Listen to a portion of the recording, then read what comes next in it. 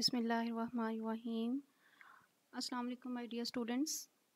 Welcome in General Science Class 8. I'm your teacher, Mrs. Madiha Ashraf. This is our chapter number 4, Speeding Up. Our today's topic is Gravity, Falling and Air Resistance, Part 2. In our previous lecture, we have discussed the Gravity, Falling and Air Resistance, Part 1 and now this is the part 2 the objectives of our today's lesson. You will be able to know the effect of balanced and unbalanced forces on falling objects. Number 2 you will be able to know the effect of gravity on falling objects. And you will be able to know the effect of air resistance on motion of the falling objects.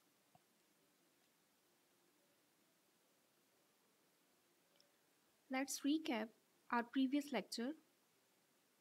In our previous lecture, we have discussed in detail that forces can change the motion of an object. Which type of the forces we have discussed in our previous lecture? Recall, we have done weight. Weight is the name given to a force that is gravitational force of earth on an object. What is weight? Gravitational force of earth on an object. And gravity. What is the gravity? Gravity is the force that attracts a body towards the center of earth. So what is gravity? Earth attracts the every object towards its center with the force and that force is named as gravity.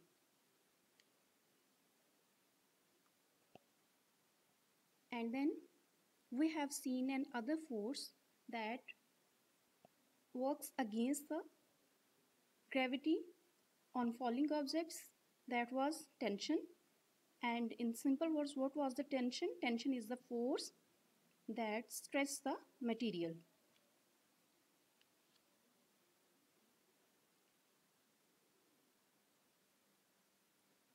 Now what is happening here?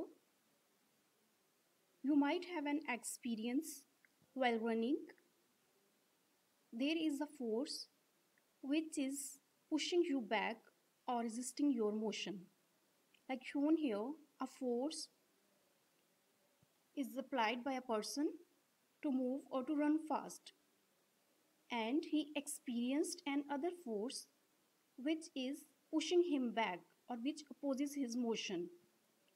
So that force is the force which was applied by the air and that is named as the air resistance. As you run fast the force become more and more so we have this experience that faster we move the more air resistance we feel. So what is the air resistance here? All the moving object all the moving object feel a force which resists their motion or which push them back or which oppose their motion. That force is named as the air resistance see here. In this example a falling person is shown with the parachute. So forces acting on it are number one the force which is acting downward. What that force is? That force is the force of gravity or weight. So weight of the person is acting downward direction and an other force which is opposite to this is also there and that force is named as the air resistance. We will see what is the air resistance. Air resistance is the frictional force it is a frictional force which slows down the object as they move through the air. whenever an object moves through the air, a force opposes its motion, or in other words, you can say it's slow down its motion. This force is named as air resistance. Air resistance works against the gravity means that it is in opposite direction to the gravity. And one more important thing about the air resistance is it reduces the acceleration. It reduces the acceleration or it slows down the things. For example, air resistance help a parachute fall slowly to the ground. Air resistance is helpful for a parachutist when parachute is open he falls but with a slow motion so he touches the ground safely. Can you label the direction of air resistance? Yes, you can. Where is the air resistance? This one or this one? The force which acts against the gravity. And you are already familiar with the gravity. Gravity pulls the things down. So, air resistance and gravity. Which direction are there air resistance is acting upward direction while gravity it is acting downward now we will see what causes the air friction what is air air is the mixture of different gases and all the matter consists of what all the matter consists of particles these are named as atoms molecules or simply particles so, what causes air friction? The particles. Whenever all uh, whenever an objects move through the air, these particles collide with that object. All matter is made up of atoms and molecules. When something moves through the air, when anything object moves through the air, the particle which are present in the air they collides with the air molecule and so they resist their motion or oppose their motion because they comes in their path. So they oppose them to move or to pass through them. So that's why this is caused the air friction. You might have noticed that some object falls faster but some falls slow. Why this is so? Look at it in this example. The two objects are shown to you. One is the feather and the other one is the ball when we throw or drop these both from the same height, the medium is air, which objects will fall faster than the other? What do you think? Which will reaches the earth first? The feather or the ball? Your answer may be ball why? Because it depends on some factors. We will see these factors. But what we conclude from here, we conclude that objects fall at different speed in air. Objects fall with different speed in air. While if these two objects, we take them in vacuum when there is no air, when there is no medium, and we do the same experiment with them, drop these two from the same height, they both will reach the surface with same speed.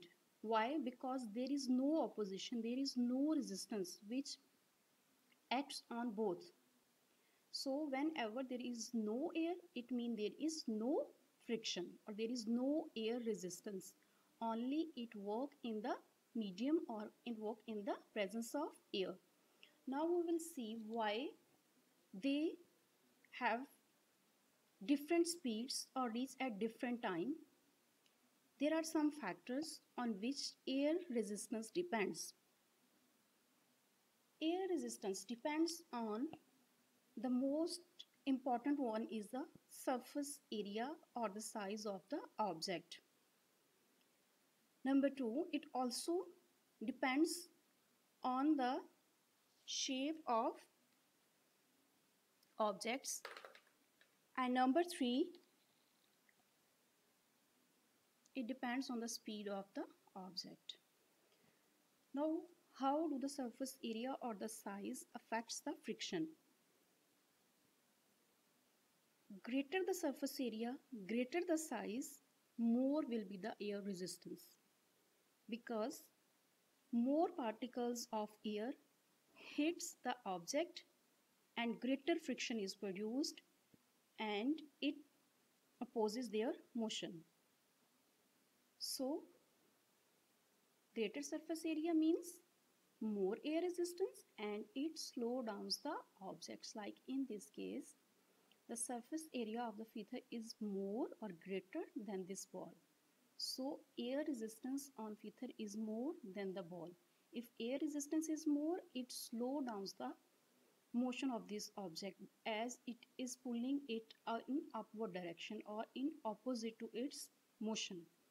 So that's why feather will move slowly while the ball will move fastly. This is because this first of all this depends on the air resistance and number two air resistance depends upon the surface area or the size of the objects. Air resistance also depends on the shape of the objects like uh, the planes are designed in such a way that there should be minimum air resistance so they can move with fast or they can move fastly. So shape of the object also affect the air resistance. And number three is the speed of the object. The faster the object is moving through the air, the more particle hit so it increase the friction. So more speed, more resistance is there. For example, whenever you are riding in a car and your hand is out you feel the air resistance. So air air resistance is directly proportional with the speed. More the speed of the object the more you feel the air resistance on it.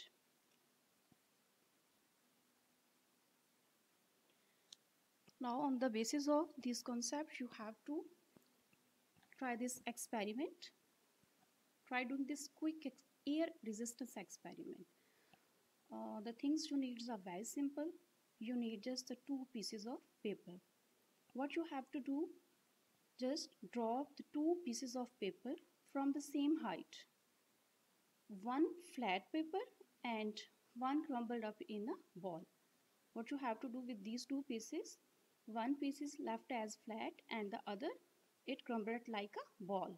So you have to drop them from the same height and record your observation in a table. And do answer the question that depends on your observation which piece of paper falls faster. You have to find which one the flat one or the crumbled one. Which piece of paper falls faster? And then you have to state the reason why. Of course it both depends on the amount of air resistance. The object or the paper that fall faster mean less air resistance will be there. Because there the force air resistance is the force that is pulling it in upward direction. So you have to perform this activity and record your observation and do share with me.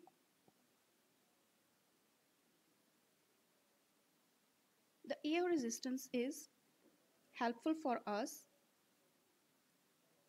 how it is helpful for us. Some objects are purposefully designed to have more air resistance. For example, air resistance help a parachutist fall slowly to the ground.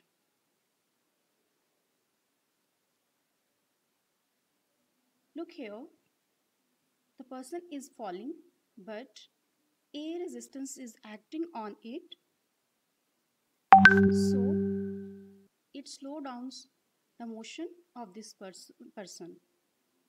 While in this case whenever you are holding an umbrella surface area increases and more will be the air resistance. Like here, whenever the wind is blowing, the speed of the air particle increases more air resistance. So umbrella is trying to escape from the grip. So it also have negative effects and also somewhere helpful. See another example. The air resistance keeps the kite in flying position. So it means more air resistance is there. So that's why it keep on flying. So here is air resistance is helpful in some cases, but it also negative effect or not helpful in some cases.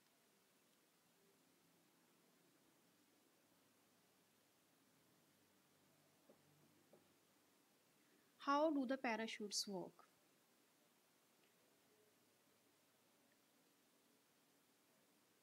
When the parachutist just jump out of the plane, then the force acting on it, first force is the weight and the second one force is the of course air resistance. When he just leaves the plane surface, in that stage what happened? Air resistance is less than the weight or simply weight is more than the air resistance. Two forces are acting in such a way both are unbalanced forces. Air resistance is lesser than the weight. So resultant force is the downward force mean weight is more. So he will move downward and skydiver speed up why it speed up or accelerate? Because unbalanced forces cause the change in speed and change in speed produce the acceleration. So he accelerate downward.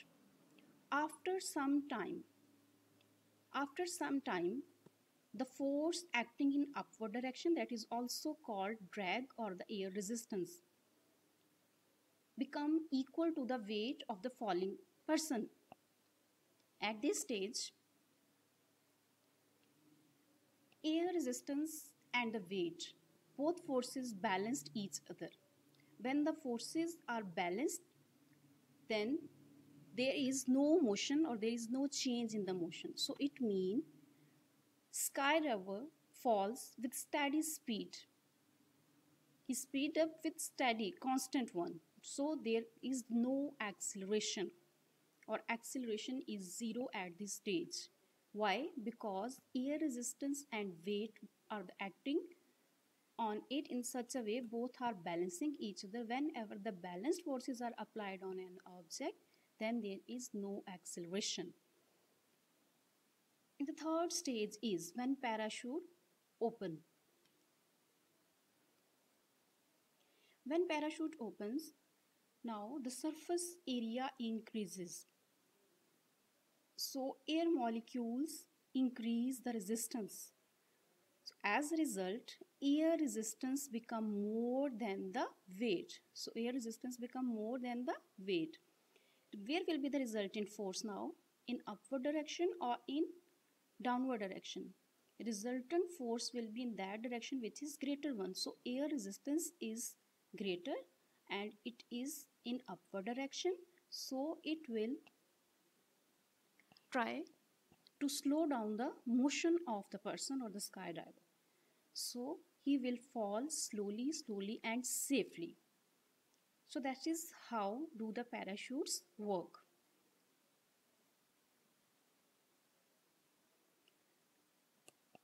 Now, recap our today's lesson. What we have discussed. First, air resistance. What is air resistance? Air resistance is the frictional force of air on moving object. What? The moving objects experience an force that opposes their motion. That force is named as the air resistance and what air resistance cause it try or tend to slow down the motion of the moving objects in the air.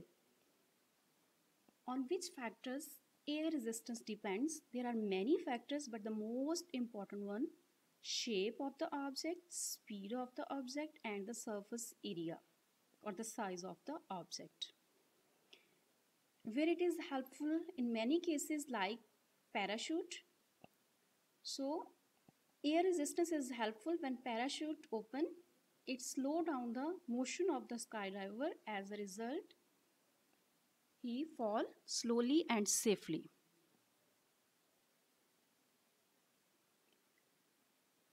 Now you have to do the following assignment. The relevant questions are there of test yourself page 54. Question number 1 is explain what air resistance is.